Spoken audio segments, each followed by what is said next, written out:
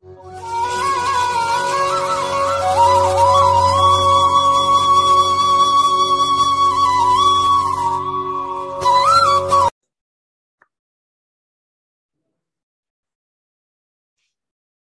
in engineering materials and metallurgy. Today we will discuss about the heat treatment of uh, steel. I am Professor A.P. Godke, uh, Assistant Professor in Department of Mechanical Engineering of SND College of Engineering and Research Center.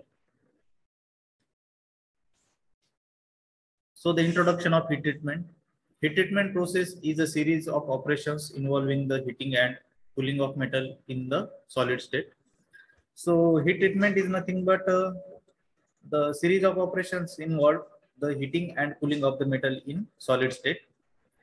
So in this heat treatment process, we have to heat the uh, steel or material or metal, and then we have to cool the that metal, which is present in the solid state only. So this type of process is called as a heat treatment. Uh, the purpose of heat treatment is to change the mechanical property or combination of mechanical properties so that the metal will be more useful, serviceable and safe for definite purpose. By heat treating, a metal can be made harder, stronger and more resistant to impact. Heat treatment can also make a metal softer and more ductile.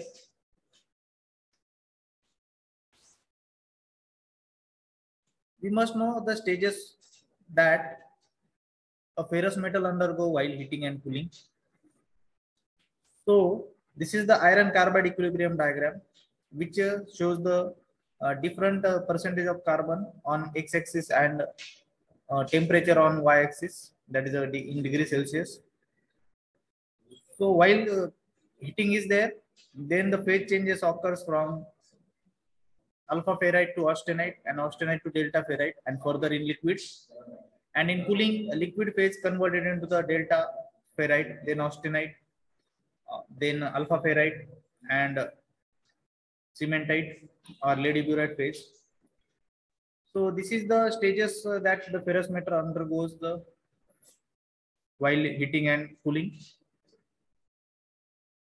So heat treatment involves the use of heating or chilling, that is the cooling, normally to extreme temperatures uh, to achieve a desired result such as hardening or softening of the material, the heat treatment process is carried out. The heat treatment process are as follows, or the following are the types of the heat treatment processes. First is annealing heat treatment. Second one is a normalizing. So in annealing, the metal is heated in the furnace and cool in the furnace itself by switch opening the furnace. Second one is a normalizing. Here the metal is heated in the furnace and cool in the air or at room. Third is the case hardening. That is nothing but a, it is a surface hardening or it is a quenching process or it is also called as a conventional hardening where salt bath or water or oil is used as a coolant then next is a precipitation strengthening. That is also one heat treatment. Then tempering is the heat treatment process. So after martensitic uh, uh, phase formation, so the tempering will uh, remove the retained austenite and stresses in the metal. Then austempering is there and martempering is also there. So these are the various heat treatment processes that are carried out. Next, purpose of heat treatment. So the it causes relief of internal stresses developed during cold working, welding, casting, and forging. It harden the and strengthen the metal. So after heat treatment, it will improve the machinability then it will change the grain size. Then soften the metal for further cold working as in wire drawing or cold rolling. So cold work being rolled into copper alloy strip. So this is the one type of a cold working process and after that heat treatment can be performed to remove the stresses. So heat treatment For the hardening, hardening and hardness are the two very different things.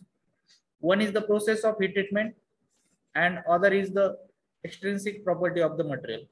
So hardening is the process of heat treatment and hardness is the property of the material.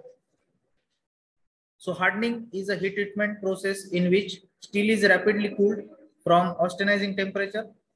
As the result of hardening, the hardness and wear resistance of steels are improved. So hardening treatment generally consists of heating to hardening temperature, holding at that temperature, followed by rapid cooling, such as quenching in oil or water or salt bath. So this is called as a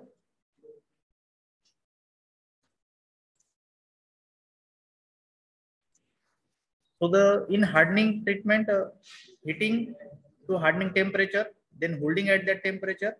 After that, rapidly cooling by using the quenching in the oil or water or salt bath or brine solution. So here in diagram also you can see the hardening heat treatment. So on axis there will be percentage of carbon and on y axis so there will be the temperature in degree Celsius on left side and on right side the temperature in degree farad. So here uh, full annealing and hardening process is denoted at the temperature of 1400 degrees Celsius. So the above the austenizing phase, the metal is heated and suddenly cooled in a water or a salt bath so that required hardness is achieved for the metal. So hardness achieved in the different heat treatment processes are shown in the figure. So this is the figure for hardness of treated and untreated samples of ASTM A36. So untreated sample is having uh, the hardness value nearly above 70. So on y-axis in this graph, you will find the hardness and on x-axis there will be the difference processes carried out. For annealing, heat treatment, the hardness is uh, about uh, 55. For normalized, the hardness achieved is uh, more than 100. For quenching or hardening, the hardness is rapidly increased. So that will be nearly equal to the 300. For tempering, that will be the tempering or arch tempering or matte tempering. The hardness achieved will be equal to the 100 so this is the curve or the diagram or the bar chart shows the hardness achieved in the different heat treatment processes. Next is the process of hardening of steel is shown in the figure. So here heating of the metal, then soaking up to a predetermined time, then quenching in a media as per defined. So here you can see the, graph of time versus temperature. So initially the heating will be there. So preheating is there. So up to 850 degrees Celsius is the preheating for a particular period of the time. After that temperature increases to the austenizing stage. That will be the 1030 degree Celsius. So keeping that austenizing temperature for a period of time, definite period of the time. After that, the metal is suddenly cooled by a quenching process. So from austenizing temperature 1030 degrees Celsius, it will be rapidly cooled to the temperature 45 degree Celsius. So due to sudden cooling, the material becomes harder and hardness process is completed.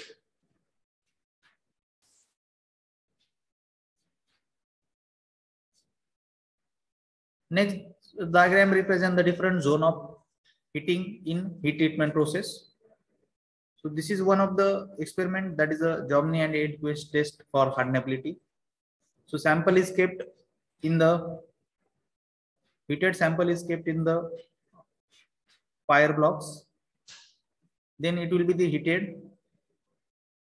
After that, it will be cooled and different hardness are measured for the tempered area and another area. This is not a hardenability. This is a, a tempering heat treatment process. Next is the time temperature transformation diagram. It will give the representation of the formation of the uh, pearlite, then uh, bainite and martensite. So the it will represent the cooling of the metal that is nothing but a transformation phase of the austenite into the pearlite, austenite into the bainite that is upper bainite and lower bainite and the third one is the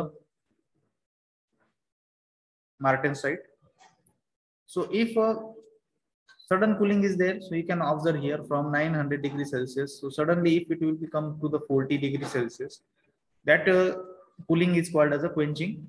So that heat treatment is a quenching then this is the curve which will show the normalizing where fine pearlite is formed that is called as a air cooling is there so slowly the that will be cooled. So here time will be more as compared with the quenching.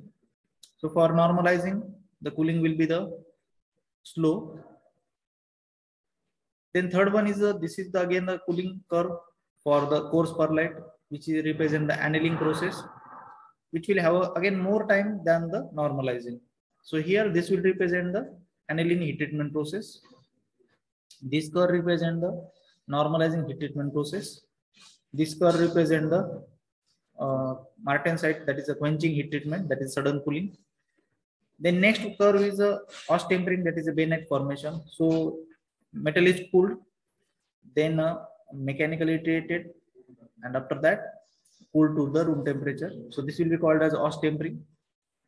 Then uh, tempering, simple tempering is a that is a tempered martensite. So here a metal when it is in the martensite phase after quenching, it will be heated to the up to 450 degrees Celsius. Then soaking time is given and after that again cooled to the room temperature. So this is called as a tempering process. So here the main objective of the tempering is to reduce the hardness of the martensite and also to relieve the stresses in the hardened martensite and also uh, remove the retained austenite from the martensite.